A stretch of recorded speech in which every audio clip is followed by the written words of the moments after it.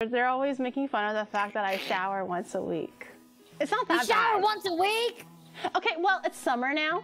Well, not really summer. It's like springtime. It's cold today. But but but but now that it's gradually getting warmer, I am also showering a little bit more. I also started to work out just a little bit. So obviously you sweat and shit. So I shower a little bit more. But normally, like back in like winter time, when you're like in hibernation mode, you shower like once a week. It's not that bad. Like I, it's from, it's from- from like four days to like a week, like a week of like max.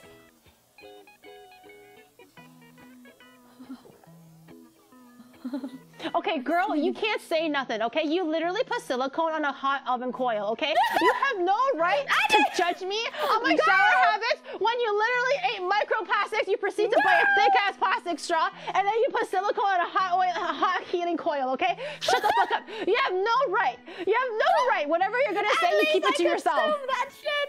Consume that shit. I shower like three times a day.